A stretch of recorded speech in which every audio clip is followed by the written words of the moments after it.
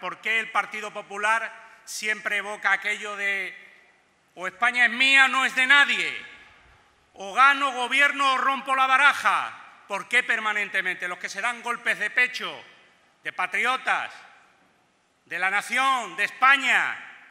Hay una democracia en este país que hay que respetar, pero en el día a día, en el día a día de unos resultados electorales, en el día a día del respeto al adversario político, de saber moverse dando argumentos a la gente y no insultando al otro. Esta es la realidad y, desgraciadamente, lo que está pasando en este país.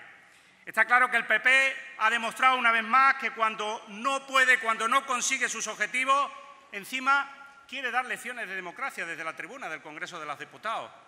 ¿Lecciones de democracia a quién? A quien más años ha gobernado este país, a quien durante estos últimos cuatro ha sacado a España de una pandemia, ha sido capaz de recuperar la economía, de situarse a la cabeza en Europa. ¿Lecciones de democracia a quién? ¿Se ha roto España estos cuatro años? ¿O España está ahora mucho más unida que como la dejó el Partido Popular y el señor Rajoy? ¿O ya no nos acordamos de la España del 2017, de los contenedores ardiendo, de Cataluña con una fractura social que generaron los independentistas, pero que la derecha gobernó como un desastre para que hubiera más independentismo.